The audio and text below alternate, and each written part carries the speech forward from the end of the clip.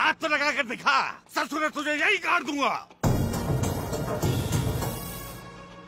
हाथ तो लगा के दिखा।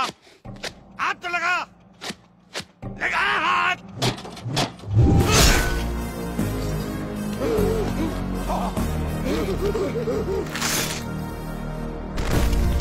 ऐसी बद्दी शक्लें देखते ही मेरा दिमाग घूम जाता है और दिमाग घूमने पर मैं वाइल्ड हो जाता हूँ।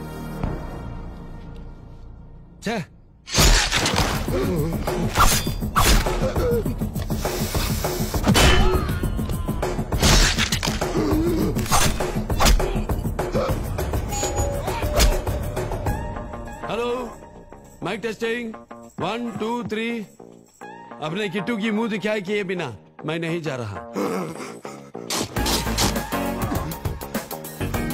सर मैं आपके साथ आने को तैयार हूँ।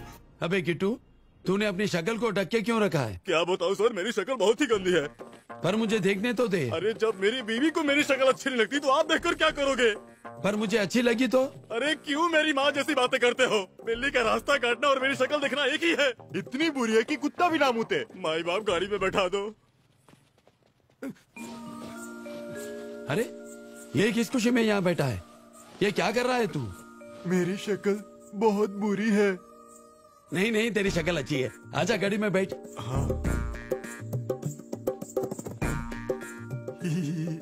थैंक यू सर पर हँसते ही भद्दी हो जाती है।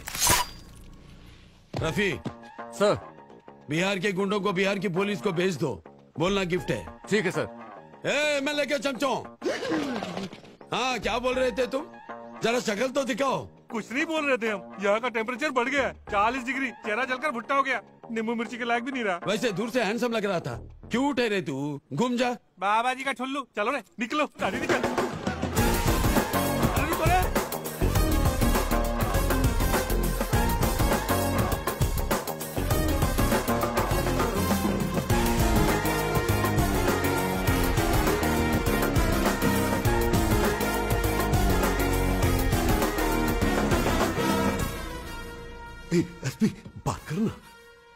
सांघवी सर को बाहर निकालो।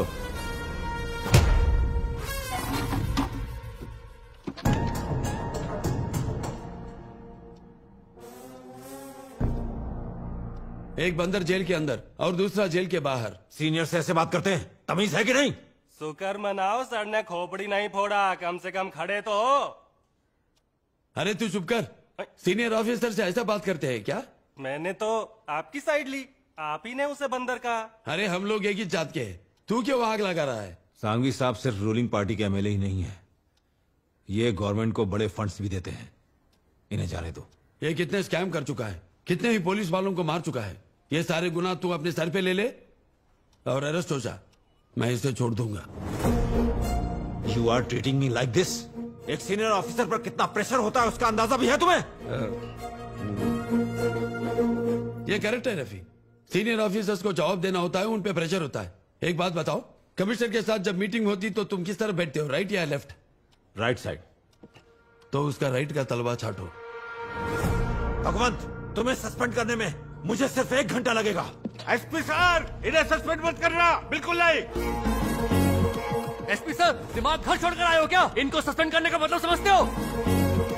रफी कंट्रोल योर इमोशंस नहीं सर। आपको सस्पेंड करने का अंजाम ये जानते नहीं है। चलो।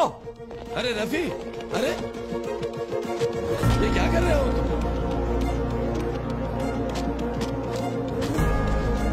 1997 करीमनगर। अक्टूबर फोर्थ फिफ्थ सरकारी बस में एक गुंडे ने बत्तीस लोगों को गोलियों से भून डाला। सीआई सर ने उसे अरेस्ट किया और आप ही की तरह एक डीएसपी उसे छुड़वाने आया। मैंने तब भी बोला था सस्पेंड मत करो पर पता है उसके बाद क्या हुआ? सस्पेंड होना तो तय था। मुझे अपनी नौकरी की चिंता ना तब थी, ना आज है। एक कांच का बोतल और क्रिमिनल को लेके मैं डीएसपी के घर पहुँच गया। उसके सामने ये गला काटकर उसके हाथ में दे दिया। ऐसा मंजर कोई भी